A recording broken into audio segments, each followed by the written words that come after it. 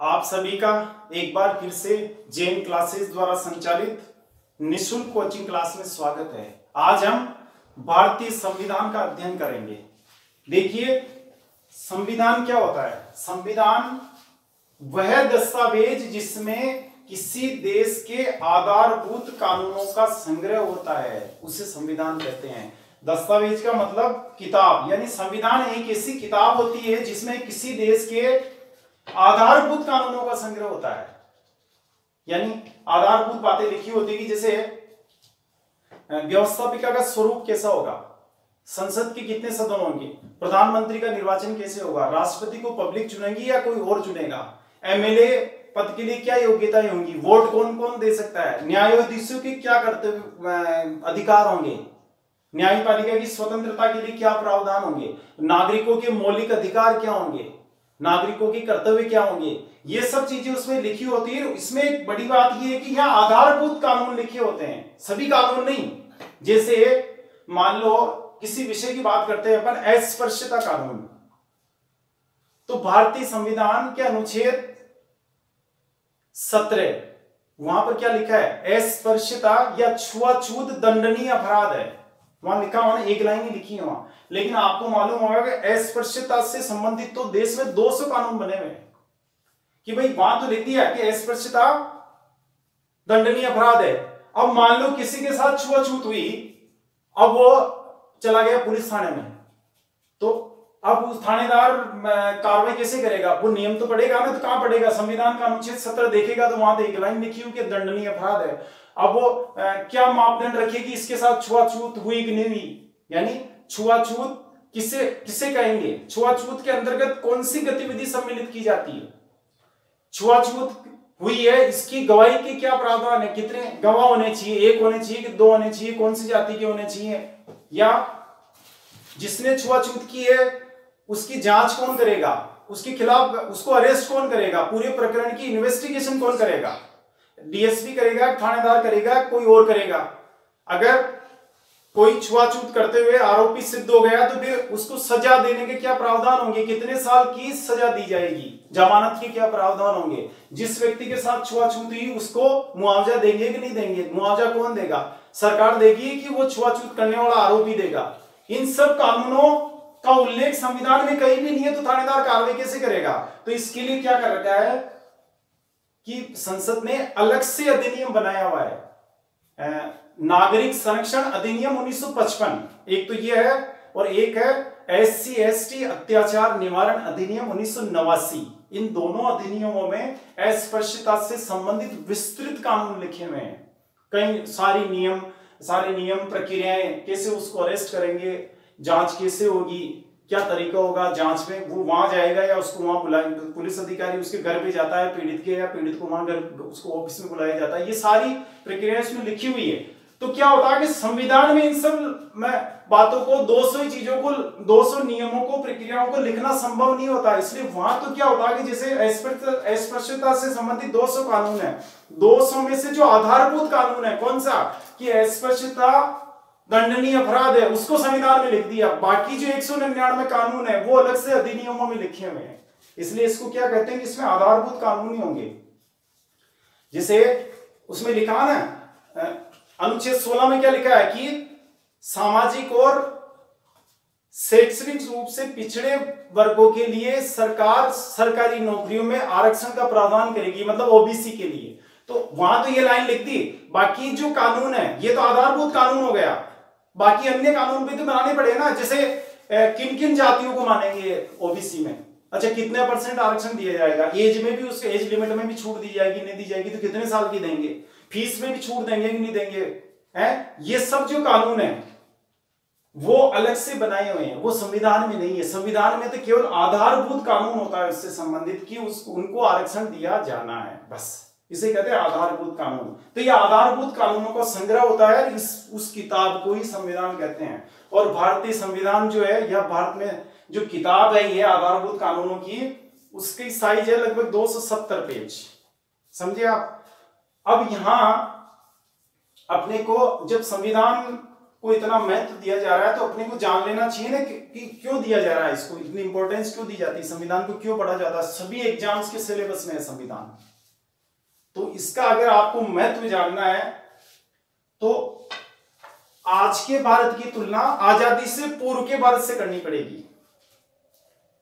है ना? इसके लिए जैसे अभी कोरोना महामारी चल रही है आज वाले भारत में, आज की तारीख में इससे ही एक महामारी चली थी, अठारह में प्लेग महामारी, और स्थान था पूना, राज्य था महाराष्ट्र। वहाँ पर क्या हुआ? प्लेग भयंकर रूप से फैला। लाखों लोग मारे गए थे प्लेग से। तो उस समय शासन था, आज़ादी से पहले की बात है, अठारह में। शासन किनका था? अंग्रेज़ों का।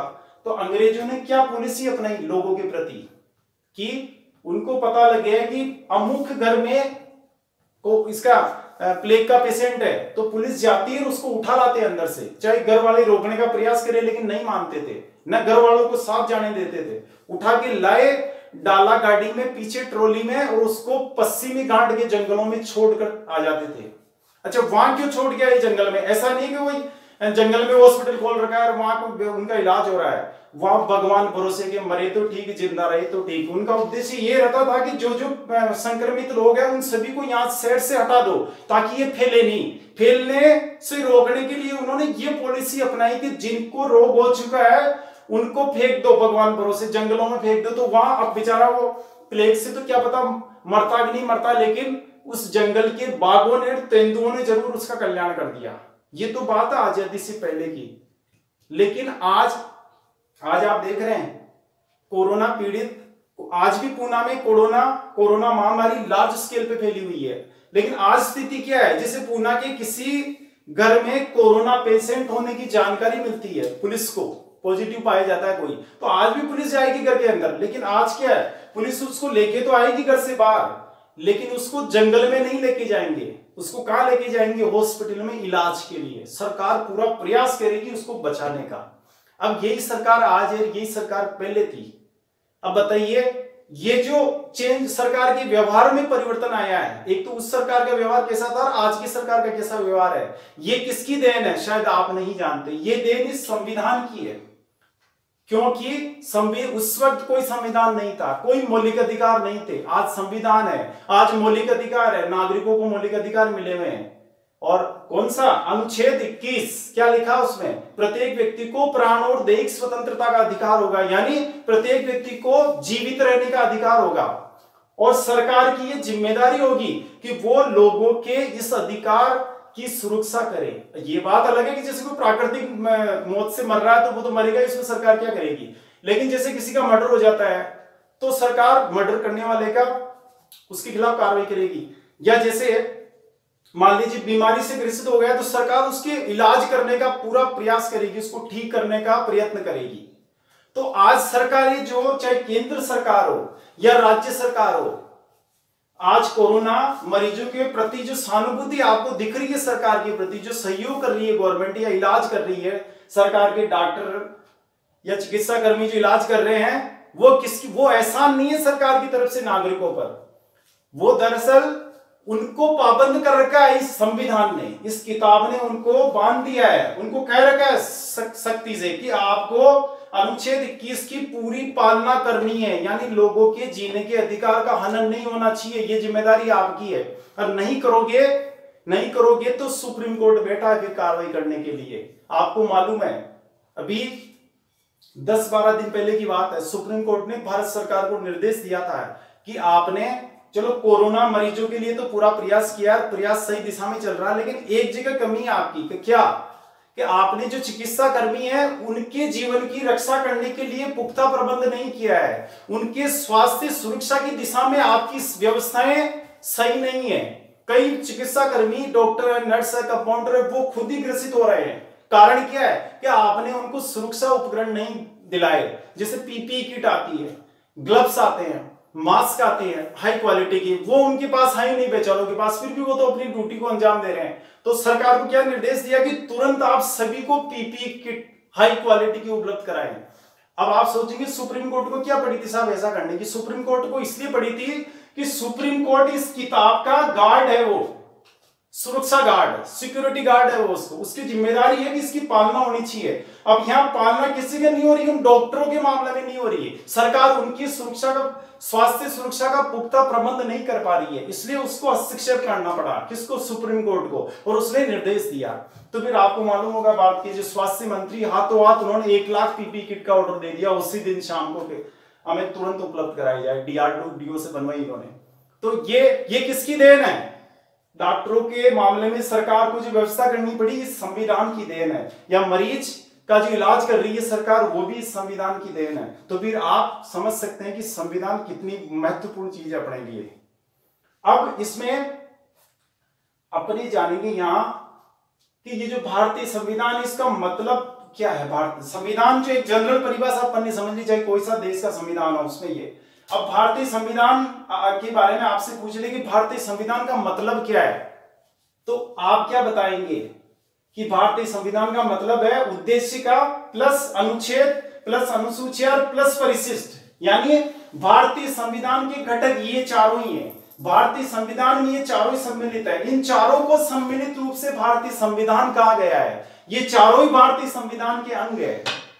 पर उद्देश्य का क्या? आप जानते हैं उद्देशिका में भारतीय संविधान के उद्देश्यों का वर्णन है कि यह संविधान क्यों बनाया गया? क्या ज़रूरत थी संविधान बनाने की? तो उद्देशिका में क्या लिखा? संविधान निर्माताओं को।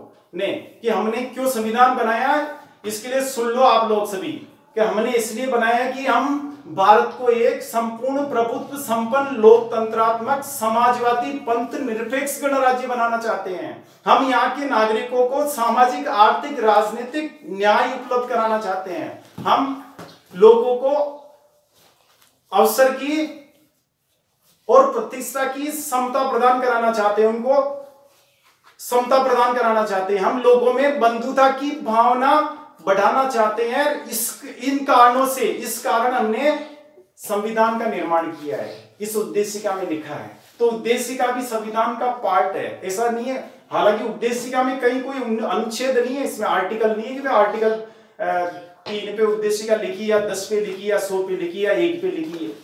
आर्टिकल का इससे कोई संबंध नहीं है। अब आते हैं अनुच्छेद। एक से लेकर तीन सौ पिचानवे। भारतीय संविधान में तीन सौ पिचानवे अनुच्छेद है कुल। जब भारतीय संविधान का जन्म हुआ, मूल संविधान, जब आप ये जान लीजिए कि मूल संविधान का मतलब क्या होता है?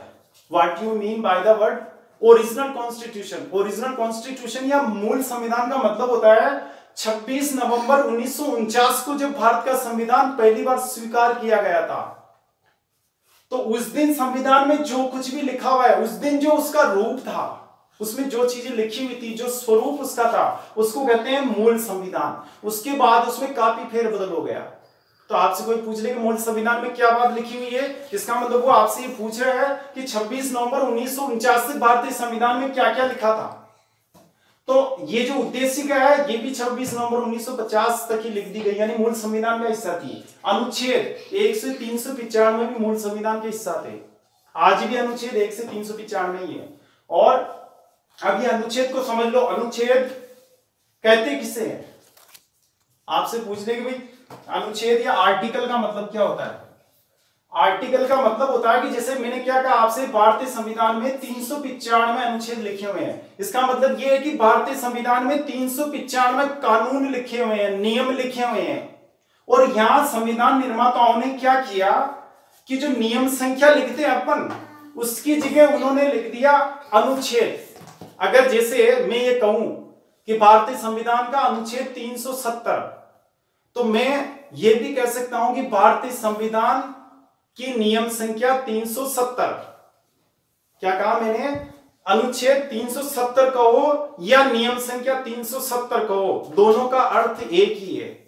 और संविधान निर्माताओं ने क्या आगे थोड़ा ऊँचे स्टैंडर्ड का शब्द इस्तेमाल किया? उन्होंने नियम संख्या या क्रम संख्या न लिखकर क्या लिख दिया? अनुच्छेद लिख दिया। तो अगर आप बोले अनुच्छेद 240 इसका मतलब नियम संख्या 240 आप बोले कि अनुच्छेद एक से लेकर तीन सौ पिचानवे, इसका मतलब आप ये भी बोल सकते हैं कि क्रम संख्या या नियम संख्या एक से लेकर तीन सौ पिचानवे तक। ठीक है? अब अनुच्छेद की आगे बात करेंगे अपन भाग। ये भाग क्या चीज़ होती है? भाग का मतलब ये होता है, अनुच्छेद, अभी ये अनुसूची ये जो देख रहे हैं ना आप आगे शेड्यूल्स और नीचे परिशिष्ट है। तो एक मिनट के लिए जो इसको बता देता हूँ मैं। अनुसूचियाँ बारह है कुल, अब, अभी तो। लेकिन मूल संविधान में आठ थी, चार बाद में जोड़ी गई। अनुसूचियाँ क्या होती है कि इसमें? संविधान में जैसे कोई सूची टाइप कोई चीज़ें लिखी हुई है, भारत में कितने राज्य होंगे? अनुच्छेद एक में लिख दिया गया कि भारत में भारत में कौन कौन से राज्य होंगे? इसका उल्लेख अनुसूची एक में तो अनुसूची एक को उठा के देख लो, उसमें लिखा है कितने राज्य।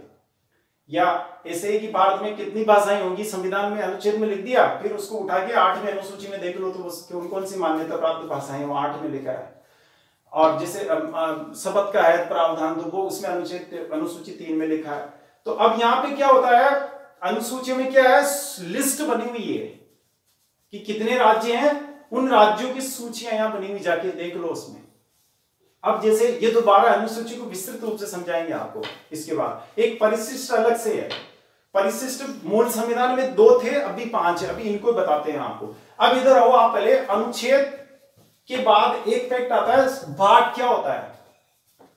अभी हम कहते हैं कि भारतीय संविधान में 22 भाग है।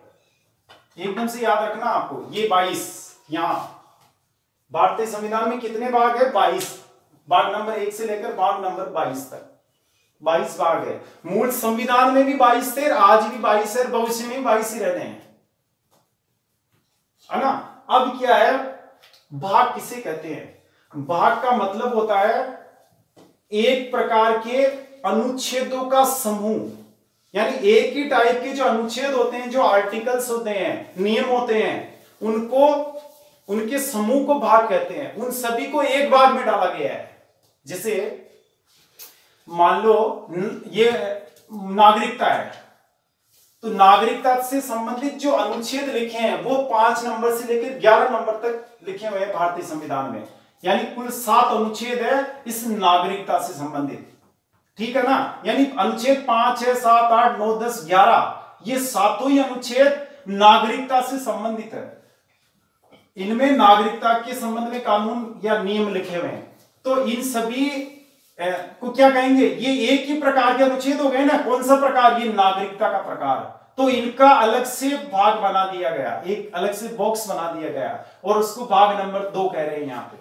यानी भाग नंबर दो में क्या है? कि नागरिकता से संबंधित अनुच्छेदों का उल्लेख है। समझे? आप जैसे भाग नंबर तीन पे जाएँगे। तो भाग नंबर तीन में क्या है? कुल कितने अनुच्छेद? आपसे पूछ ले। तो भाग नंबर तीन में है, बारह से लेकर पैतीस तक अनुच्छेद है। और कुल कितने होगी संख्या में? चौबीस अनुच्छेद हो गए। और ये सभी अनुच्छेद मूलभूत अधिकार या मौलिक अधिकारों फंडामेंटल राइट्स जो नागरिकों को मिले हुए हैं। उन, उनसे संबंधित है। सब समुनिच्छेद का संबंध किससे है? इन मूलभूत अधिकारों से। तो सबका संबंध सभी एक प्रकार के हो गए ना अनुच्छेद? तो इनको क्या हुआ कि इनका अलग से भाग बना दिया गया। तो ये भाग नंबर तीन मूलभूत अधिकारों से संबंधित अनुच्छेदों को रिप्रेजेंटेटिव का रिप्रेजेंटेटिव है। यानी ये किसका प्रतिनिधित्व कर रहा है? भाग नंबर तीन मूल अधिकारों से संबंधित अनुच्छेदों का, जिनकी संख्या 24 है। ऐसे राज्य के नीति निर्देशक तत्व है। ये नीति निर्देशक तत्वों का उल्लेख अनुच्छेद 36 से लेकर 36 से लेकर इक्यावन तक है। यानी नियम संख्या 36 से लेकर नियम संख्या इक्यावन तक में क्या लिखा है? राज्य के नीति निर्देशक तत्व लिखे हुए हैं। राज्य के नीति निर्देशक तत्व का मतलब राज्यों को संविधान निर्माता ये निर्देश दे रहे हैं कि जब आप कानून बनाओ आगे तो आपको लोगों के कल्याण के लिए की दिशा में काम करना चाहिए। यानी आपको इस तरह के कानून बनाने चाहिए जिससे लोगों को ज़्यादा से ज़्यादा फ़ायदा हो। जैसे क्या लिखा निर्देशक तत्वों में कि सरकार आय की असमानताओं को कम करने का प्रयास करेगी। है ना? ये नीति निर्देशक तत्वों में लिखा है। सरकार सामाजिक न्याय की स्थापना करेगी, यानी कोई ऊंच नीच का भेदभाव नहीं होना चाहिए गाँव में। इसे कहते सामाजिक न्याय। और या सरकार बीमारी के समय लोगों की सेवा करेगी, जैसा कि भी कर रही है। वो इस नीति निर्देशक तत्वों के अनुच्छेद इकतालीस के तहत कर रही है। उसमें लिखा हुआ है, सरकार बुढ़ापे के समय, बीमारी के समय नागरिकों की आर्थिक सहायता करेगी। अभी प्रधानमंत्री गरीब कल्याण कोष के तहत पैसा दिया जा रहा है ना नागरिकों को? बीमार, बीमारी की वजह से। तो ये नीति निर्देशक तत्वों में लिखा है, उसके तहत ले रही है। तो ये नीति निर्देशक तत्व है। तो एक चूँकि छत्तीस से इक्यावन तक के सभी कानूनों का उल्लेख इसमें है? इस भाग चार में। एक प्रकार के कानून हो गए ना सारे। ये अनुच्छेद सभी छत्तीस से इक्यावन एक ही प्रकार के हो गए। कौन सा प्रकार है वो? राज्य नीति निर्देशक तत्व। तो इनको अलग से नंबर दे दिया गया, अलग से भाग बना दिया गया उसको उसको नंबर दिया गया चार। इसे आप चलेंगे संघ। संघ का मतलब होता है कि केंद्र सरकार से संबंधित कानून है, जैसे इसमें संसद से संबंध में कानून है, राष्ट्रपति के संबंध में, प्रधानमंत्री के संबंध में जैसे सुप्रीम कोर्ट के संबंध में संघ लोक सेवा के, संघ लोक सेवा तो अलग जगह है। तो ये सब केंद्र सरकार से संबंधित, संघ से संबंधित कानून है, वो सारे इन बावन से लेकर एक सौ इक्यावन तक के अनुच्छेदों में लिखा हुआ है। ये सभी सौ अनुच्छेद हो गए और ये सौ ही अनुच्छेद एक प्रकार के हो गए प्रकार कौन सा हुआ? संघ। संघ का मतलब यूनियन, भारत सरकार से संबंधित। तो इनको अलग से क्या हुआ? अलग भाग बना दिया गया इनका। ये पाँच नंबर का भाग उनका हो गया। इसे राज्यों के संबंध में, राज्यों में जैसे मुख्यमंत्री कैसे बनाया जाएगा, एमएलए की क्या योग्यताएँ होंगी? न्याय राज्य न्यायपालिका क्या क्या नियम होंगे? न्यायाधीश कैसे बनाए जाएँगे? उनके क्या पावर्स होंगे? उनका ट्रांसफ़र का क्या सिस्टम होगा? है? इसमें तो ये बातें राज्यों के संबंध में किसमें लिखी हुई है? अनुच्छेद एक सौ बावन से लेकर दो सौ सैंतीस में। कुल ये छियासी अनुच्छेद होते हैं। तो इन छियासी अनुच्छेदों का समूह एक प्रकार का हो गया नहीं एक प्रकार के हो गए सारे। प्रकार कौन सा? राज्य। तो इनका अलग से भाग बना दिया गया। यानी मैं क्या कहना चाह रहा हूँ कि भाग क्या है? एक प्रकार के अनुच्छेदों का समूह। अब वो अनुच्छेदों की संख्या देखो। आप चलो मेरे साथ इधर। यहाँ तो सो आ रहे हैं अनुच्छेद, ये सभी एक ही टाइप के अनुच्छेद है। लेकिन तो इसके लिए भाग पाँच बनाया गया इधर चलो आप। भाग बीस।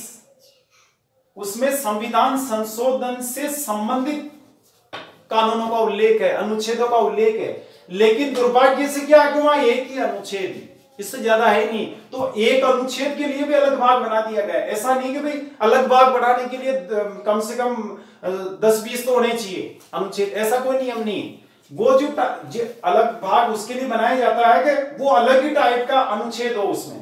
यहाँ हो गया ना संशोधन से संबंधित केवल एक ही अनुच्छेद है पूरे ही संविधान में तीन सौ पिचानवे में ही तो फिर उसके लिए एक तो है अनुच्छेद तो लेकिन अलग से भाग बनाना पड़ा। तो इनसे इनमें किसी में वो एडजस्ट नहीं हो सकता। कहा इस अनुच्छेद को कहाँ आप प्रवेश कराओगे? किसमें सेट करोगे?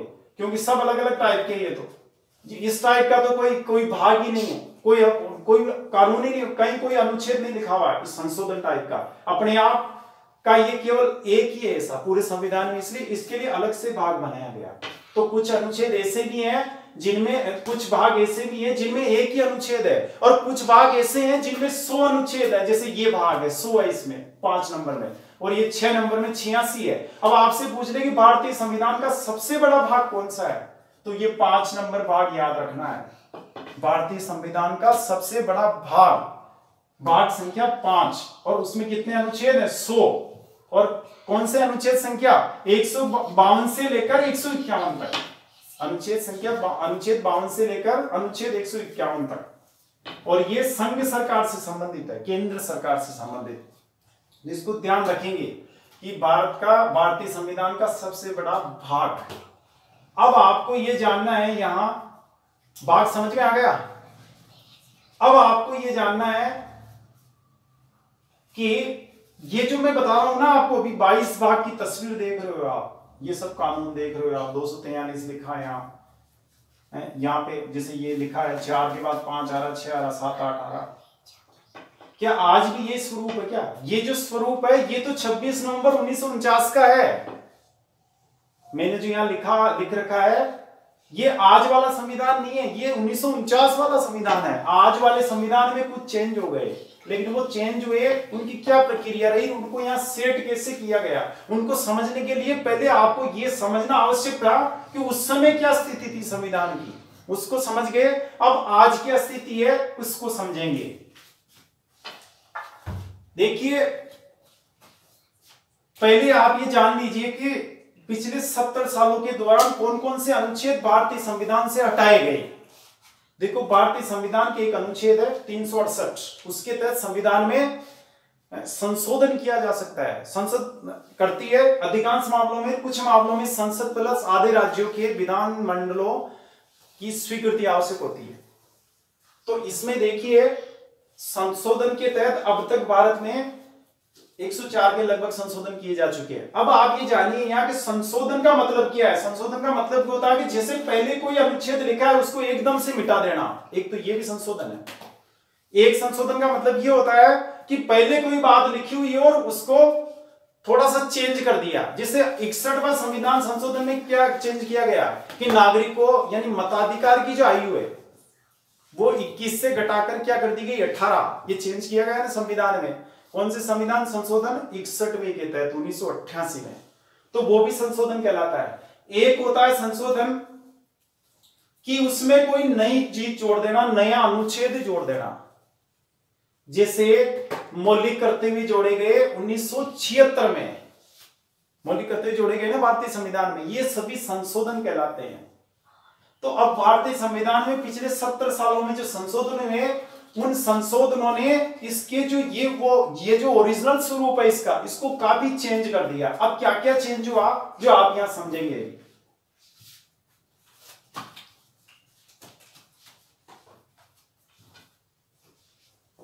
देखो, सबसे पहले तो आप ये जान लीजिए कि ऐसे संशोधन कितने प्रकार के हुए, जिनसे किसी अनुच्छेद को या भाग को बिल्कुल ही हटा दिया गया। तो आप चलेंगे भाग ये जो भाग संख्या सात दिख रहा है ना आपको भाग संख्या सात को उन्नीस सौ छप्पन में, ये राज्यों से संबंधित था, उस दो सौ अड़तीस था ये इसको क्या किया गया? हटा दिया गया यहाँ से, बिल्कुल इस संविधान से। और क्या लिख दिया गया? आज की तारीख में क्या मिलेगा आपको यहाँ? निर्सित। निर्सित। निर्सित का मतलब होता है ओमिटेड मिटाया हुआ। इसको कहते हैं निर्सित का। लेकिन जो संविधान की भाषा वो निर्सित लिखा हुआ है ओमिटेड कहते हैं इसको इंग्लिश में। और ये दो सौ अड़तीस है। दो सौ अड़तीस लिखा हुआ है संविधान में। लेकिन क्या चीज़ लिखी है वहाँ? कि भाई यहाँ जो कुछ भी लिखा था मूल संविधान में 26 नवंबर उन्नीस सौ उनचास को, उसको सातवें संविधान संशोधन उन्नीस सौ छप्पन के तहत हटा दिया गया है बिल्कुल यहाँ। तो ये खाली गाड़ी है भी इस वक्त यहाँ ये बॉक्स बिल्कुल खाली पड़ा भाग। ये अनुच्छेद भी खाली है, भाग भी खाली है। एक क्या किया इन्होंने? उन्नीस सौ छप्पन में सातवें संशोधन के तहत एक ये जो आप दो देख रहे हो, इसको भी हटा दिया राज्य शासन को। है ना? दो सौ तैयलीस था यहाँ क्या लिख दिया? निर्सित। निर्सित लिख दिया। ये दो सौ तैयलीस। यानी दो सौ तैयलीस भी खाली हो गया और ये भी खाली हो गया। दो दो भाग है, बिल्कुल खाली हो गए भारतीय संविधान के। एक तो घटना ये हुई मतलब मिटाने वाली। अब क्या हुआ कि भारतीय संविधान में कुछ आर्टिकल या कुछ अनुच्छेद जोड़े गए। उनकी क्या प्रक्रिया रही? तो देखो, आप चलो 1976 में 1976 में इंदिरा गांधी ने मौलिक कर्तव्यों को जोड़ा था भारतीय संविधान में। और संशोधन कौन सा था? उन्नीस बयालीसवा संविधान संशोधन उन्नीस में। इंदिरा गांधी को यह लगा उस समय क्या आगे अस्सी का दशक एक ऐसा था भारत में, जब जनसंख्या तेज गति से बढ़ रही थी, उनको आपातकाल भी लागू करना पड़ा था। तो उन्होंने सोचा कि ये जनसंख्या को रोकने में सरकार अकेली कुछ नहीं कर सकती। इसमें नागरिकों का भी सहयोग लेना पड़ेगा। तो नागरिकों का सहयोग लेने के लिए अभी तक संविधान में कहीं भी ऐसा नहीं लिखा है कि जिसमें कहीं कोई नागरिकों के कर्तव्यों का उल्लेख हो, कि उनके भी कुछ फ़र्ज़ बनते हैं। सबके सब फ़र्ज़ या तो सरकार के लिखे हुए हैं। सरकार, भाई सरकार के फ़र्ज़ क्या होंगे? हैं? जैसे मौलिक अधिकार है। मौलिक अधिकार में क्या लिखा है? कि सरकार की ज़िम्मेदारी होगी कि ये अधिकार लोगों को मिले। यहाँ सरकार को पाबंद किया जा रहा है, नागरिकों को पाबंद नहीं कर रहे हैं, नागरिकों को सुविधा दी जा रही है। नीति निर्देशक तत्वों में क्या लिखा है कि ये सरकार जब कानून का निर्माण करे भविष्य में तो उनको इन तत्वों को भी ध्यान में रखना चाहिए। उसकी कोशिश रहनी चाहिए कि इन तत्वों को ज़्यादा से ज़्यादा लागू करे। ऐसा निर्देश यानी गवर्नमेंट को ही दिया जा रहा है यहाँ निर्देश। अब तक ये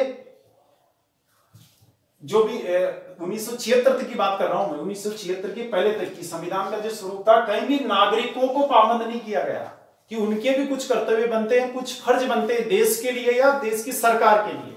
तो इंदिरा गांधी ने किया कि चलो नागरिकों को भी पाबंद करते हैं।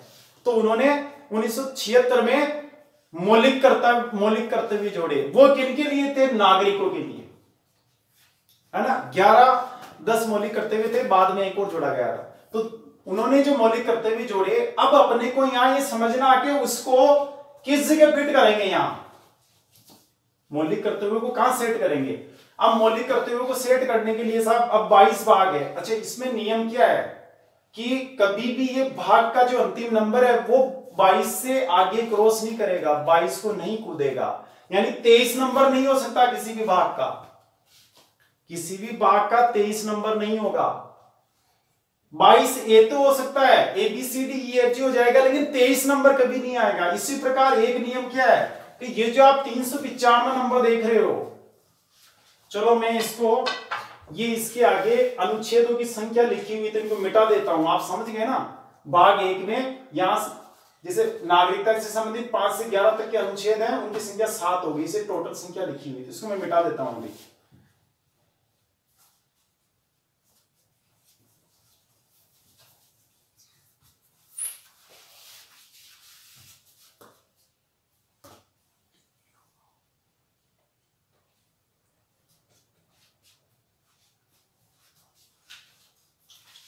देखो, एक नियम क्या है कि जैसे कोई नया अनुच्छेद जोड़ना संविधान में, भाई, जोड़ना पड़ ही सकता है ना? सत्तर साल पहले अलग स्थिति थी, देश की आज स्थिति अलग है, परिस्थितियाँ बदल गई नई नई चीज़ें आ गई देश में नए नए नए नए अपराध हो गए, साइबर अपराध हो गया, और कई बातें हो गई, देश संपन्न भी हो गया, कई तरह के अपराध होने लग गए तो उनके संबंध में अलग अलग कानून बनाया जाना है। कानून बनाया जाना है तो फिर कैसे करेंगे? तो उन्होंने क्या किया कि नए कानून बना के आप जोड़ सकते हो, नए अनुच्छेद जोड़ तो सकते हो संविधान में, लेकिन तीन सौ पिचानवे का जो लास्ट नंबर है, इसको क्रॉस नहीं करोगे। यानी 396 नहीं आएगा कहीं भी। अनुच्छेद कितने जोड़ दो? आप जी 500 और जोड़ दो। लेकिन किसी भी अनुच्छेद का नंबर तीन सौ आगे नहीं आएगा। तीन सौ पिचानवे एबीसीडी एफ़ जी तो आ सकता है। Capital A B C D F G small नहीं कैपिटल लेकिन वो नहीं आएगा। क्या? 396 नहीं आएगा। 397 नहीं आएगा। 398 नहीं आएगा। 399 नहीं आएगा। ऐसा उन्होंने ये अपने इसमें नियम बना हुआ है, ये परिपाटी है संविधान में संशोधन करने की। तो अब कैसे करें साहब? उन्नीस सौ छिहत्तर में इंदिरा गांधी ने क्या किया? मौलिक करते हुए जोड़े संविधान में। अब मौलिक करते हुए जोड़े तो उनको फिट कहाँ करें? कि वो, ये जो जितने भी भाग बने हैं, इन भागों में किसमें डालें? अच्छा मैंने आपको क्या कहा कि प्रत्येक भाग की विशेषता ये है कि उसमें जो अनुच्छेद, वो सभी एक ही कैटेगरी के होने चाहिए। एक कैटेगरी के है ना? कि जैसे ये भाग दो है। भाग दो में वही अनुच्छेद जिनका संबंध नागरिकता से है। दूसरा अनुच्छेद नहीं आ सकता। भाग तीन में वही अनुच्छेद जो जिनका संबंध मौलिक अधिकार से है। तो फिर मौलिक कर्तव्य डाल ही नहीं सकते। हैं? आप चले इधर, मान लो आप कहोगे तीन सौ इसमें बीस नंबर में डाल देते हैं साहब, यार एक ही एक खाली भी तो पड़ा है, इसके पास बहुत जगह पड़ी है इसमें डाल दो इसको। तो इसको डाल नहीं सकते, क्योंकि ये अलग कैटेगरी का कानून है, ये अनुच्छेद है संशोधन से संबंधित, और वो तो मौलिक कर्तव्य से संबंधित है, फिर उसको इसमें कैसे डाल दो? तो क्या, इसका मतलब क्या हुआ? भाई, ये समस्या कि इसको फिट कहा करें, मौलिक कर्तव्य को किस जगह जोड़े तो फिर सरकार ने देखा कि भाई ये जितने भी कैटेगरी के भाग बने हुए हैं, उन कैटेगरीज में इन मौलिक मौलिक कर्तव्यों के सबसे नज़दीक का रिश्तेदार कौन है? सबसे ज़्यादा मिलता जुलता कौन हो सकता है इनमें? तो उठा के देखा स्टडी की। तो स्टडी क्या ही? कि साहब जिसे मौलिक अधिकार देखते हैं, मौलिक अधिकारों में क्या दिया हुआ है कि नागरिकों को अधिकार दिए हुए हैं? करते हुए किनके हैं या सरकार के?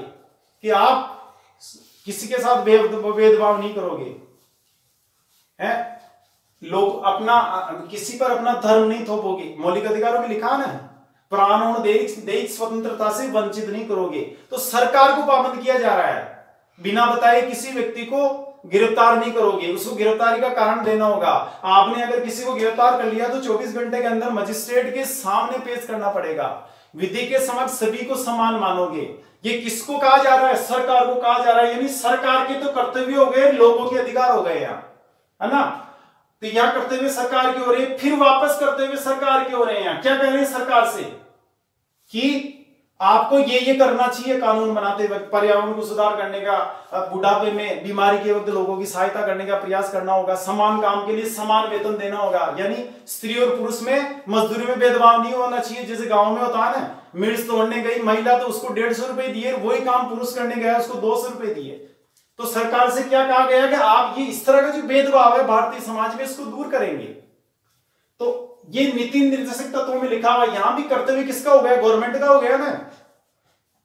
तो अब फिर इसकी जगह सबसे उपयुक्त स्थल ये लगा कि दो सरकार के कर्तव्य हो गए ना तो तीसरे नागरिकों के कर्तव्य भी यही जोड़ दो। तो फिर सिलेक्शन किया गया इस भाग चार का। मौलिक कर्तव्य का चयन किया गया कि इसको यहाँ जोड़ देते हैं। है ना? तो अब आप देखेंगे उन्होंने क्या किया? ये किसके है? नागरिकों के कर्तव्य है। ध्यान रखेंगे इसमें। नागरिकों के कर्तव्य है ये। दोनों तो सरकार के कर्तव्य हो गए। या नागरिकों के कर्तव्य है। तो दोनों के कर्तव्य के तुरंत बाद यानी सबसे उपयुक्त जगह यही बैठ रही है। सबसे ज़्यादा फिट यहाँ हो रहा है मौलिक कर्तव्य। यानी दोनों सरकार के कर्तव्य आ गए, फिर नागरिकों के कर्तव्य आ गए। तो इसको यहाँ फिट किया गया। तो उसको क्या अनुच्छेद अनुच्छेद कौन सा दिया गया? यहाँ तो लिखिए मौलिक कर्तव्य ये मूल कर्तव्य मूल कर्तव्य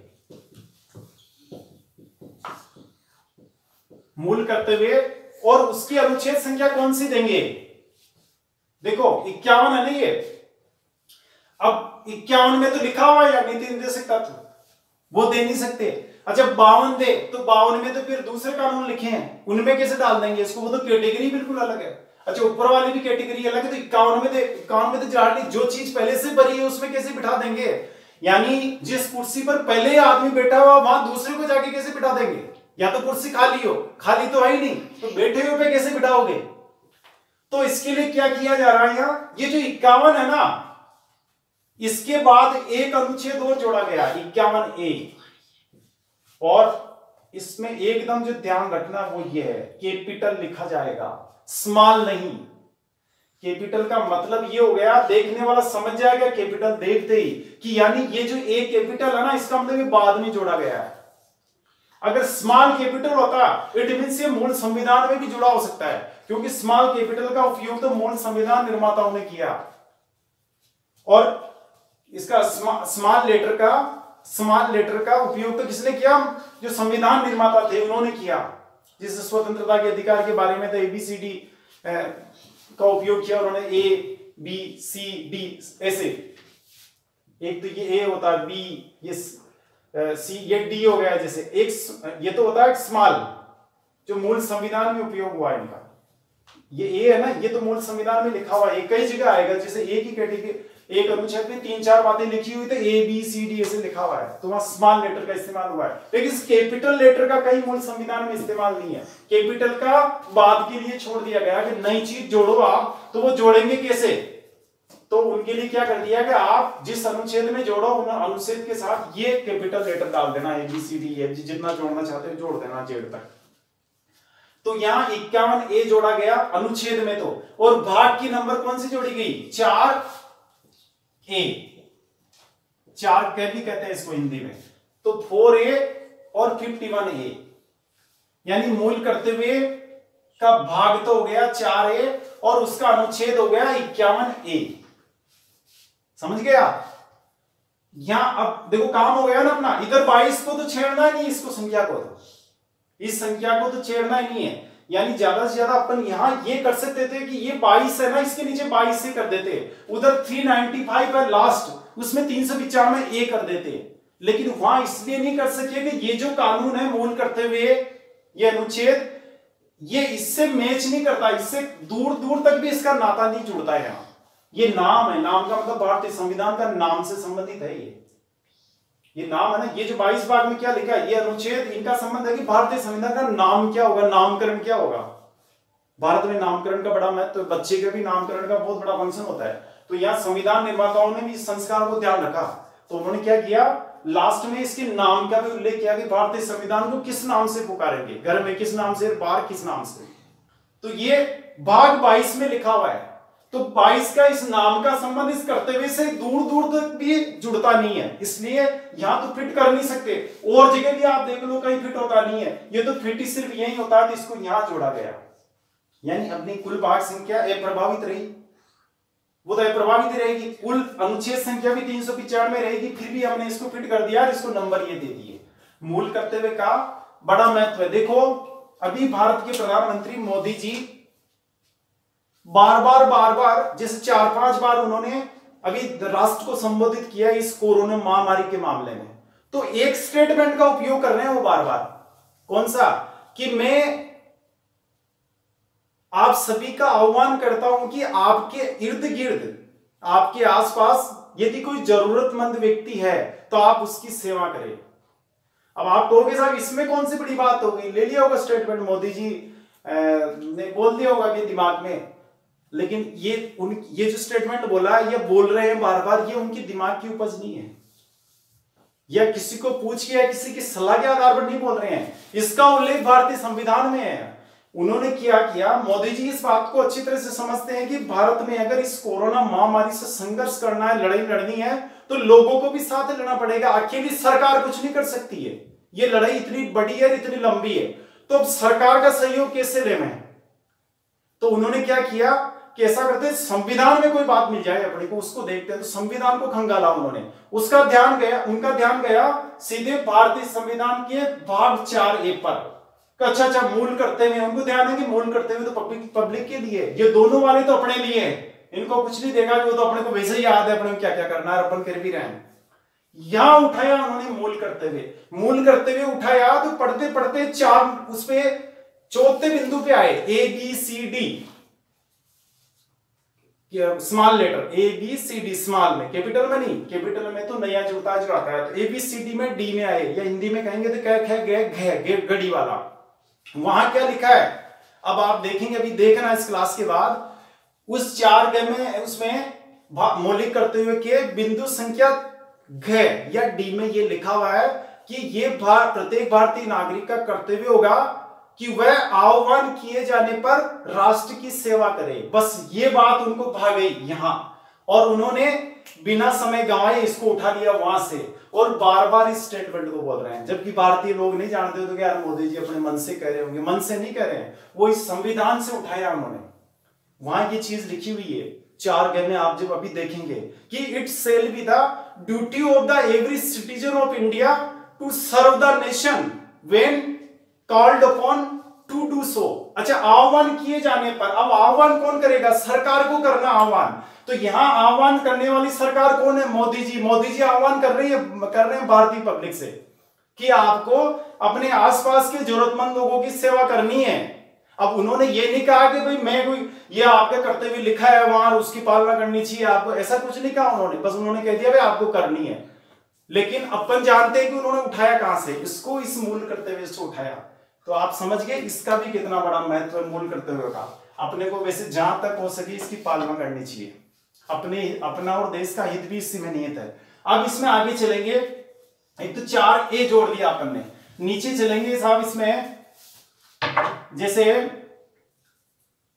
चार ए जुड़ गए आपके। जुड़ने वालों में और कौन सा आएगा?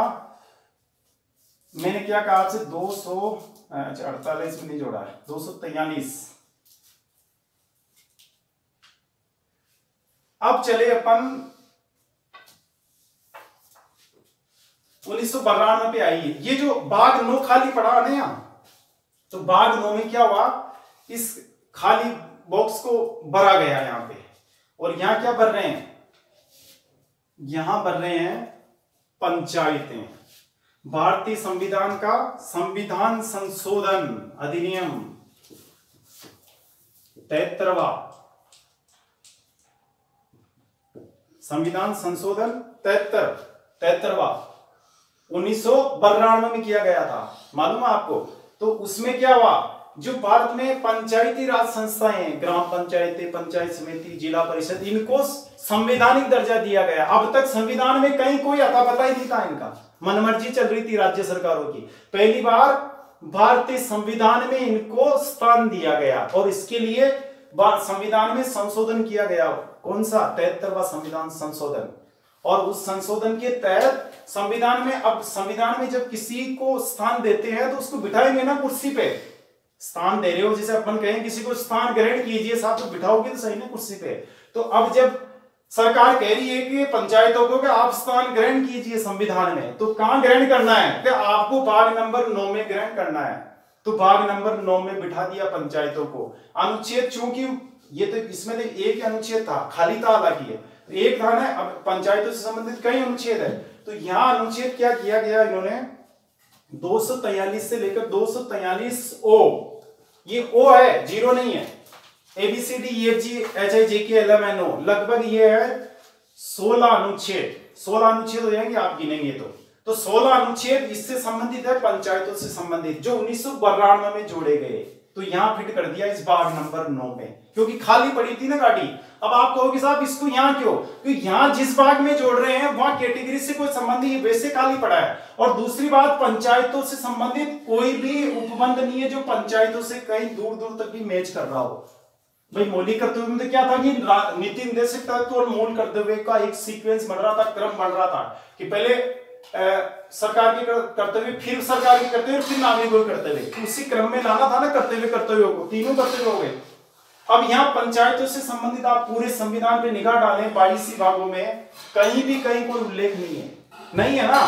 तो इसलिए इसको फिर ये तय किया गया कि यार खाली जगह कहाँ खाली जगह यहाँ ऐसा नौ नंबर पे। ये अच्छी खाली जगह, चलो इसको नौ नंबर पे बिठा दो। तो वैसे खाली जगह तो सात नंबर पे भी थी। सात के बजाय इन्होंने नौ नंबर पे बिठाई। इसको बिठाया। और नौ नंबर पे ये सोलह अनुच्छेद जोड़े गए और उस भाग का नाम क्या रखा गया? पंचायतें। अब इसी के बाद आपको ध्यान होगा, उसी साल उन्नीस में इसके कुछ दिनों बाद ही एक संशोधन और किया गया। भारतीय संविधान में चौहत्तरवा संविधान संशोधन उन्नीस में जो नगर पालिका से संबंधित था। तो यहाँ क्या किया गया? नगर पालिकाओं को संविधानिक दर्जा दे रहे हैं। पहले उन्नीस से पहले नगर पालिकाएँ भी असंवैधानिक मतलब गैर संवैधानिक संस्थाएँ थी। असंवैधानिक तो नहीं कह सकते, गैर संवैधानिक। तो वो क्या है कि उनका भी संविधान में कोई उल्लेख नहीं था। मनमर्जी चलती थी सरकारों की। कभी चुनाव करा लिए, कभी नहीं कराए। ऐसे चल रहा था, प्रशासकीय लगा दिए। बिठाते नहीं थे चेयरमैन को। तो बाद में क्या हुआ कि संविधानिक दर्जा दिया गया, संविधानिक दर्जा दिया गया तो अब ये कि भाई इसको संविधान में कहा स्थान ग्रहण कराए? तो फिर तलाश की गई स्थान की। पहले तो ये देखा जाता कि इनसे मिलता जुलता तो कोई वो भाग नहीं है पहले। है ये, कौन सा? कि ये पंचायतों वाला है। कैसे है? कि ये भी स्थानीय स्वशासन से संबंधित है नगर पालिकाएँ भी स्थानीय स्वशासन से संबंधित है। अच्छा अच्छा तो ये इससे मैच कर रही है। तो साहब, चूँकि ये तो खाली तो नहीं है गाड़ी, ये तो भरी हुई है। तो ऐसा करते हैं कि इस गाड़ी के साथ ही इसके पास ही इसकी जगह बना देते हैं। एक कुर्सी और लगा दो। कौन सी लगाएँगे साहब? उस कुर्सी का नाम कर दो। नो ए। भाग नो ए जोड़ा गया। नगर पालिकाएँ है ना? और यहाँ लिखा नगर पालिकाएँ लिखकर आगे देखिए, दो सौ तैयालीस ओ तक तो हो गए ना?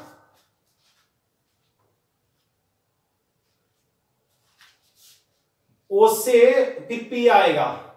उससे नेक्स्ट कौन सा आएगा? पी दो सौ तैयालीस पी से दो सौ तैयालीस जेड जी देखो, इसमें क्या है? P Q R L M N O P P Q R S T U V W X Y Z Z के बाद फिर वापस A B C D F G तो ये कुल अनुच्छेद कितने? अठारह अनुच्छेद हो गए यहाँ। कितने अनुच्छेद हो रहे हैं ये? अठारह।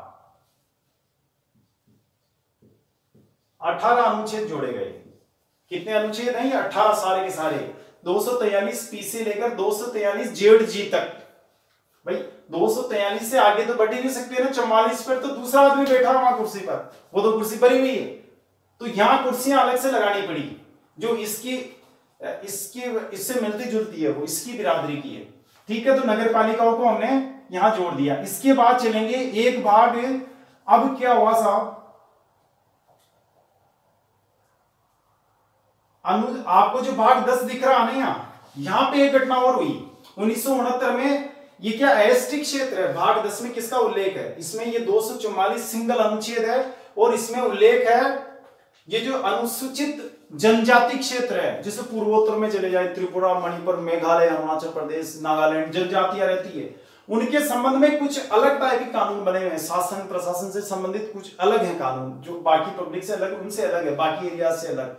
तो उसमें एक संशोधन किया गया, एक अलग से अनुच्छेद जोड़ा जाना था, असम के मामले में।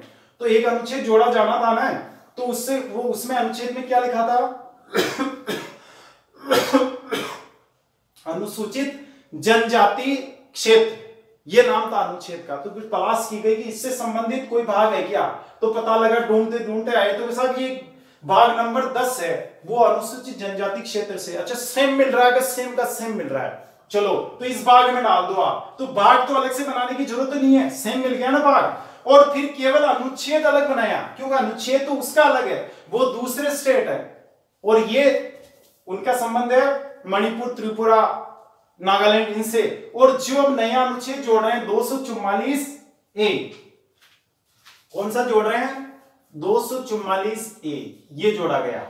इसका संबंध असम से था। यानी उसकी कैटेगरी तो वही अनुसूचित जनजाति क्षेत्र जैसी इसकी कैटेगरी है। कैटेगरी एक ही है। लेकिन एरिया अलग अलग है। इसका अलग राज्यों से संबंध है, इसका अलग राज्यों से संबंध है। इसलिए अनुच्छेद अलग डाला गया। उसका नंबर अलग डालेंगे और भाग तो वही रहेगा। तो एक तो इस प्रकार का चेंज हुआ। देखो, यहाँ यहाँ अलग टाइप यहाँ पंचायतों को डाला हमने। जैसे नगर पालिका डाली तो यहाँ भाग भी अलग देना पड़ा। मूल करते हुए डाले तो भाग नंबर अलग देना पड़ा। लेकिन यहाँ जब ये दो सौ चौवालीस ये जोड़ रहे हैं तो अलग भाग नहीं बना रहे। हैं जबकि यहाँ इक्यावन जोड़ा तो अलग भाग बनाया। क्यों बनाया अलग भाग? कि मूल करते हुए इस सब्जेक्ट से मैच नहीं करता। इसी तरह यहाँ नगर पालिकाएँ भी हु इस पंचायतों से मैच नहीं करती। पूरी तरह से नहीं मिलती। आप उसको चिपका नहीं सकते उसके ऊपर। लेकिन उसमें तो क्या आगे एस्ट्रिक क्षेत्र इसमें लिखा है, वैसा का वैसा ही दो सौ चुम्बालीस ए में भी लिखा है उसका सब्जेक्ट। विषय उस अनुच्छेद का अनु, कौन सा? अनुसूचित जनजाति क्षेत्र। इसका भी ये ये तो एकदम से मैच कर गया। तो पूरा का पूरा मैच करने के अलग से भाग नहीं बनाया गया। इसके बाद चलेंगे। देखो 1978 में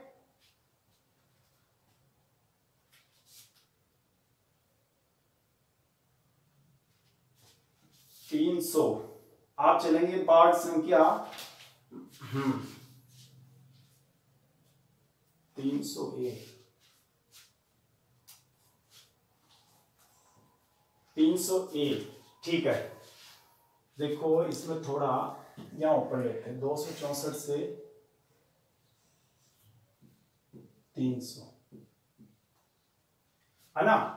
क्या हुआ? भाग संख्या बारह में फाइनेंस से संबंधित नियम लिखे हुए अपने यहाँ संविधान में। और 200 1978 में क्या हुआ कि इंदिरा गांधी ने उन्होंने मोरारजी देसाई ने एक संशोधन करके जो संपत्ति का अधिकार था ना भारत में, उसको वो मौलिक अधिकार था पहले, अनुच्छेद इकतीस में, उसको समाप्त कर दिया। और उसको क्या बनाया? वैधानिक अधिकार। और वैधानिक अधिकार बना के उसको डाल दिया इस बारह नंबर भाग में यहाँ। क्योंकि उसका सब्जेक्ट भी वित्त था। किसका? उस संपत्ति के अधिकार का। पहले संपत्ति का अधिकार यहाँ हुआ करता था, इस जगह, बारह से इकतीस तक।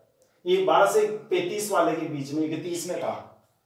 क्या समझे? हालाँकि आप कहोगे, साहब, फिर आपने इकतीस को डिलीट कैसे नहीं दिखाया? इकतीस को इसलिए नहीं दिखाया, इकतीस एबीसी में अभी कुछ और चीज़ें लिखी हुई है। हालाँकि वो आपके काम की नहीं एग्जामिनेशन पॉइंट ऑफ़ से तो उसकी चर्चा नहीं की अपन। ने वैसे अपन विस्तार से और आगे बढ़ेंगे। सभी को बारे में डिटेल में बात करेंगे अभी तो मैं आपको सिर्फ़ इसका बनावट समझाना चाहूँगा कि संविधान में ये सब सेटिंग कैसे कर रखी है, अनुच्छेदों की, भागों की।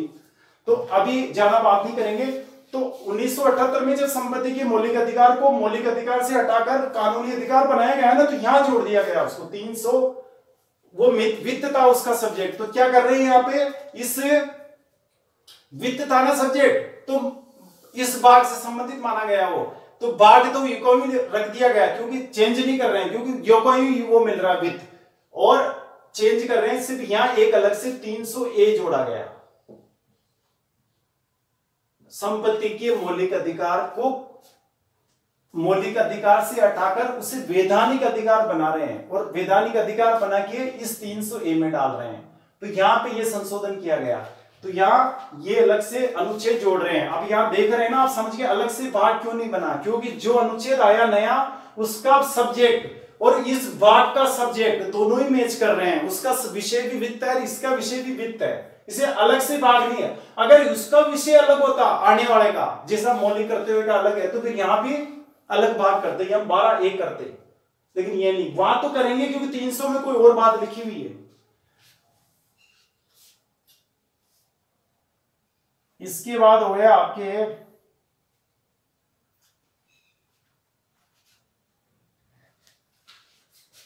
एक क्या है चौदह ए, एक भाग और बनाया गया ये जो सेवाएँ देख रहे हैं ना, संघ और राज्य की सेवाएँ। सेवाओं का मतलब जैसे अखिल भारतीय सेवाएँ हैं या राज्य और संघ के, केंद्र सरकार और राज्य सरकारों के अधीन जितनी भी सर्विसेज़ है, सरकारी नौकरियाँ, उनके बारे में इनमें उल्लेख है।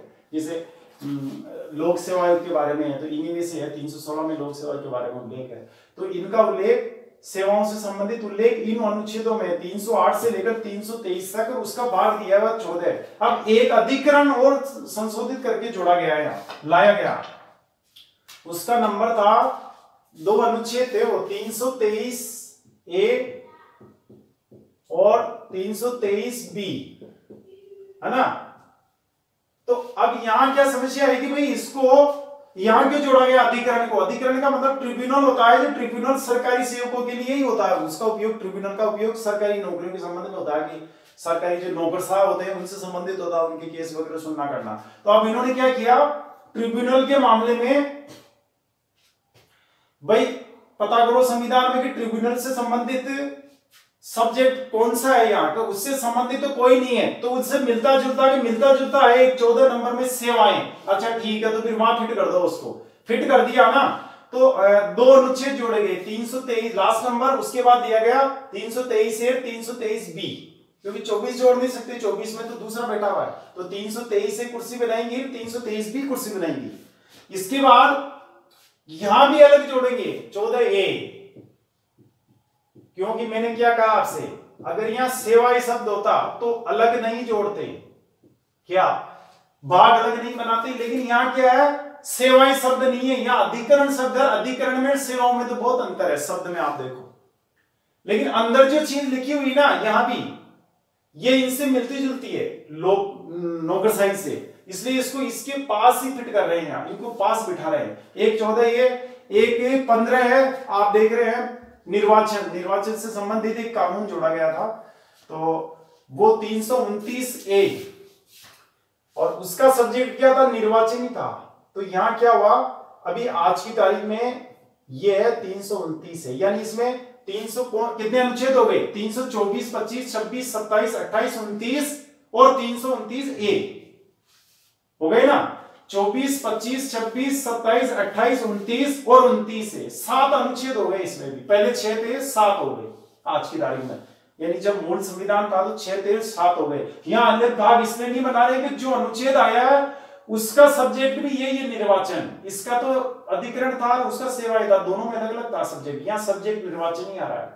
तो उसको अलग भाग नहीं दिया दिया, केवल उस अनुच्छेद में अलग बात लिखी हुई है। तो उसका अलग से अनुच्छेद लिख दिया गया। नंबर अलग अनुच्छेद का दे दिया गया।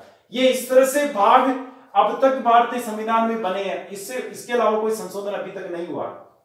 तो आप समझ गए ना कि भारतीय संविधान में भाग का सिस्टम क्या है? अब नए भाग बने हैं ना, अभी चार ए है। जैसे एक भाग तो ये जुड़ा हुआ है, एक नौ ए जुड़ा है है ना?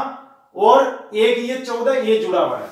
समझ गए, आप तीन भाग जुड़ गए। अब कई जगह आपको बुक्स में या गाइड में कहीं मिलेगा, क्या लिखा हुआ है कि भारतीय संविधान में 225 भाग हैं। इसको समझना बहुत ध्यान से, बड़े काम की चीज़ आप लोगों के लिए। कि क्या लिखा हुआ बुक्स में? भारतीय संविधान में 325 पच्चीस भाग है केवल 25 25 कैसे मान रहे हैं वो? 22 तो ये हो गए, एक चार है, तेईस और एक नौ है, चौबीस। और एक चौदह पच्चीस। ऐसे पच्चीस मान रहे मान रहे, बाईस प्लस तीन जो बाद में जोड़े। तो साहब, संविधान में बात तो पच्चीस है। चलो ठीक है। मान लो आप आर का इंटरव्यू देने गए। इंटरव्यू बोर्ड वाले ने आपसे पूछा कि चलो बताइए, भारतीय संविधान में कितने अनुच्छेद है? आपने उठा के बता दिया कि साहब दो सौ पच्चीस है। वो सॉरी पच्चीस है। वो पूछेगा कितने अनुच्छेद है, कितने भाग है, आपने बताया पच्चीस भाग है। तो वो वापस पूछ लेगा आपसे कि चलो बताओ, भाग नंबर तेईस में क्या लिखा है? आप उठा के यहाँ देखोगे कि अच्छा बाईस तो ये थे ना, फिर तीन बाद में जोड़े, पहले कौन सा जुड़ा ये चार ए वाला मोल करते हुए वाला जुड़ा, मोल करते हुए जुड़ा ना पटाख से कह दोगे उसको। कि सर जो तेईस नंबर है, इसमें मूल करते हुए लिखा है। फिर वो वापस क्वेश्चन करेगा आपसे। अच्छा मूल करते हुए लिखा है। तो फिर आप ये बताइए कि भाग चार ए में क्या लिखा है?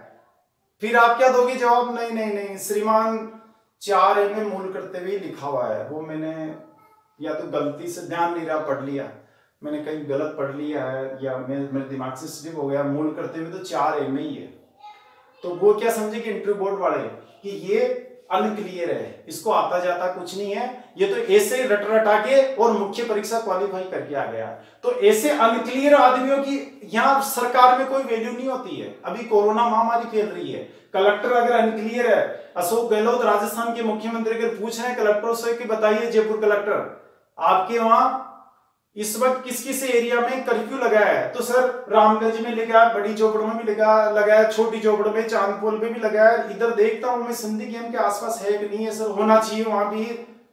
मेरे ख्याल से हो सकता है। ऐसे अनक्लियर आदमी, वहाँ मुख्यमंत्री अगर वो कहे कि सब देख के बताता हूँ या पूछ के बताता हूँ तो वहाँ इतना समय नहीं मुख्यमंत्री के पास। उसको तो पूरे तैतीस ज़िले डील करने हैं। तो ऐसे आदमी की वैल्यू नहीं सरकार में सरकार फेल हो जाएगी कितने आदमी मर जाएँगे?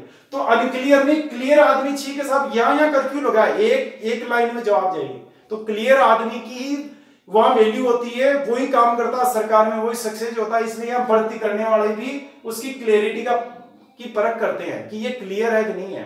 तो यहाँ क्या होगा, चाहे आपने तो पंद्रह घंटे पढ़ाई कर ली, पूरे को रट लिया इसको, लेकिन सब पे पानी फिर गया, क्योंकि आपने अपना कंसेप्ट क्लियर नहीं किया। कंसेप्ट क्या था कि लास्ट नंबर 22 से आगे नहीं जाएगा, इसलिए कुल भाग 22 ही माने जाएँगे हमेशा। ध्यान रखेंगे इस बात को, रट लेना। कि भारतीय संविधान में अगर पूछ ले कोई कितने भाग तो 22 भाग। अनुच्छेद कितने? तीन सौ अनुच्छेद। अगर आपने गलती से बता दिया कि साहब सोलह, अठारह तो आपने यहाँ जोड़ दिए, पंचायत राज में सोलह यहाँ जोड़ दिए तो ये तो तीन सौ पिचानवे से कहीं आगे चला गया। ये चार सौ साठ, सत्तर पे जा रहा है। अगर किसी को बता दिया आपने कि चार सौ पचास अनुच्छेद है, वो पूछेगा आपसे, बताइए तीन सौ छियानवे में क्या लिखा है, क्या जवाब दोगे फिर? है, सर, याद ही नहीं हमारे को, देखते हैं अभी। तो ऐसे, ऐसी नॉलेज की कोई वैल्यू नहीं होती है, इसलिए आप एकदम क्लियर रहना। मैं बेसिक से क्यों पढ़ा रहा हूँ आपको? ये सब कंसेप्ट क्लियर करने के लिए। क्योंकि जब तक आपका कंसेप्ट क्लियर नहीं होगा, आप चाहे कितनी मेहनत कर ले, कितना ही याद करके चले जाएँ रट के चले जाएँ। आईएएस और आरएस में जो मेन एग्जामिनेशन होगा और इंटरव्यू बोर्ड होगा, वहाँ वहाँ आप सक्सेस नहीं हो पाओगे। क्यों? वहाँ तो वही आदमी सक्सेस होता है जो क्लियर होता है। चाहे नॉलेज कम हो आपको, कम याद करो, लेकिन जो करो उस पर क्लियर रहो एकदम। कैसे? पूछे आंसर घुमा फिरा के। आप आंसर देने की स्थिति में रहोगे। अगर क्लियर शुरुआत में तैयारी करते समय क्लैरिटी का ध्यान रखोगे। तो मैं आपसे यही आग्रह करना चाहूँगा एकदम समझ जाना इस बात को। तीन सौ पिचानवे अनुच्छेद भारतीय संविधान में उस वक्त भी तीन सौ पिचानवे थे, उन्नीस सौ उनचास में भी, आज भी तीन सौ पिचानवे ही है। उस वक्त भी भाग बाईस थे, आज भी बाईस ही है। चाहे कितने जुड़ते जाएँगे, लेकिन अपन उसको बाईस ही कहेंगे। और अब आगे अपने पास है अनुसूचियाँ और परिशिष्ट। तो इनकी चर्चा आगे वाले एपिसोड में करेंगे। अच्छा एक एग्जामिनेशन पॉइंट ऑफ़ व्यू से अपने को इन भागों के बारे में क्या तैयारी करनी है? तो देखो, वहाँ क्या पूछा जाता है कि किस भाग का संबंध किस विषय से है? तो वैसे तो 22 भाग है। तो 22 तो सारे अपने को भी याद नहीं करने इनमें जो इंपॉर्टेंट भाग है, वो जिसे एक भाग नंबर तीन। ये मोस्ट इंपॉर्टेंट है। भाग नंबर नंबर तीन मौलिक अधिकार या मूल अधिकारों से संबंधित है और इसमें अनुच्छेद 12 से 35 तक का उल्लेख है। इसी प्रकार भाग नंबर चार राज्य की नीति निर्देशक तत्वों का उल्लेख है छत्तीस से इक्यावन अनुच्छेदों का उल्लेख है इसमें। भाग चार ए मूल कर्तव्य इक्यावन ए यानी इसमें कौन सा अनुच्छेद है? इक्यावन ए। और ये भाग चार में क्या लिखा है? मूल कर्तव्य के बारे में। एक है भाग पाँच इसके इस, ये सबसे बड़ा भाग है इन बाईस ही भागों में। सबसे बड़ा भाग है सबसे बड़ा कैसे है कि इसमें बावन से लेकर एक सौ इक्यावन अनुच्छेद, सौ अनुच्छेद है। सबसे ज़्यादा अनुच्छेद इसी में ही है। और राज्य। तो राज्य का मतलब राज्य के बारे में कानून है, मुख्यमंत्री राज्यपाल वगैरह, इनके बारे में राज्यों की न्यायपालिका, उनके बारे में कानून है। तो ये जो भाग छह है, इसको याद रखेंगे, राज्यों से संबंधित है। ये दूसरा सबसे बड़ा भाग है 86 आर्टिकल्स है इसमें। छियासी अनुच्छेद है इस भाग छह में। एक ये याद रखेंगे, कौन सा? तीन, चार चार ए और पाँच और छ फिर नीचे चलेंगे, ये पंचायतें आ गई। तो स्थानीय प्रशासन से संबंधित है तो पंचायतों का उल्लेख भारतीय संविधान के कौन से भाग में है? भाग नौ में। और दो सौ अनुच्छेद दो से लेकर दो ओ तक। फिर नीचे चलेंगे नगर पालिकाओं का उल्लेख भारतीय संविधान के किस भाग में है? भाग नौ ए। और इसमें अनुच्छेद कौन से है? दो सौ तैयलीस पी से लेकर दो सौ तैयलीस जेड जी तक। सोलह इसमें आएँगे आपके अठारह अनुच्छेद, और इसमें सोलह अनुच्छेद है। ऊपर वाले में, पंचायत में सोलह अनुच्छेद, और इसमें अठारह अनुच्छेद। नीचे चलेंगे, ये आपको याद करने की ज़रूरत नहीं है अभी। फ़र्स्ट राउंड में तभी ये चलने देना आपने। और आगे आएँगे आप, एक ही निर्वाचन 324 भारत का जो निर्वाचन आयोग है, उसका उल्लेख है इसमें, और निर्वाचन के बारे में क्या नियम कानून बने हुए हैं देश में, संविधान में क्या लिखा हुआ है, उन सब का उल्लेख है। तो ये कि भाग नंबर पंद्रह, निर्वाचन। यानी निर्वाचन से संबंधित कौन सा भाग है? तो भाग नंबर पंद्रह है, जो तीन सौ चौबीस से लेकर तीन है तक। फिर चलेंगे इसमें, ये भाग नंबर सोलह है तो कुछ वर्गों के लिए विशेष प्रावधान, जैसे एस सी के लिए विधानसभाओं इनमें लोकसभा में जो स्थानों को आरक्षित किया गया है, उनके कानून लिखे हुए हैं। तो ये भी है, लेकिन इतना नहीं है ये इंपॉर्टेंट उससे ज़्यादा इंपॉर्टेंट ये भाग अठारह है, आपात उपबंध है। तीन सौ बावन से लेकर तीन सौ साठ, तीन सौ बावन में कौन सा राष्ट्रीय आपात? तीन सौ छप्पन आएगा इसमें भी बीच में। वो कौन सा है? संवैधानिक तंत्र विफल होना। राष्ट्रपति शासन से संबंधित। तीन सौ साठ है, वित्तीय आपात। तो ये एकदम याद रखना आपने को। भाग नंबर अठारह, आपात उपबंध। फिर चलेंगे नीचे, उन्नीस की ज़रूरत नहीं है। बीस नंबर भाग है, संविधान संशोधन। तीन सौ अड़सठ एक अनुच्छेद है, इसमें ध्यान रखेंगे। भाग नंबर 20 में एक के अनुच्छेद है, तीन सौ अड़सठ, संबंध क्या उसका संबंध किससे संविधान संशोधन। इसमें संविधान को संशोधित करने की प्रक्रिया का उल्लेख है कि भारतीय संविधान में संशोधन या फेरबदल या परिवर्तन कैसे करेंगे? उसकी प्रक्रिया क्या होगी? वो इस, इसमें उल्लेख है। तो भाग नंबर 20 को याद रखेंगे कि इसका संबंध संविधान में संशोधन करने की प्रक्रिया से है। फिर भाग 21 आता है। वैसे तो वैसे तो अभी तक तो इसका पिछले सत्तर सालों तक तो कोई महत्व नहीं था। लेकिन अभी पाँच अगस्त 2019 को एक ऐतिहासिक घटना हुई भारत के राजनीतिक इतिहास में कि अनुच्छेद 370 जिसका संबंध कश्मीर के बारे में विशेष प्रावधानों से उसमें बहुत बड़ा परिवर्तन किया गया। उसको डिलीट तो नहीं मारा गया, संविधान में तो लिखी हुई वो, लेकिन उसमें बहुत बड़ा परिवर्तन किया गया। तो वो वो जो अनुच्छेद है, उसका संबंध इस भाग इक्कीस से है।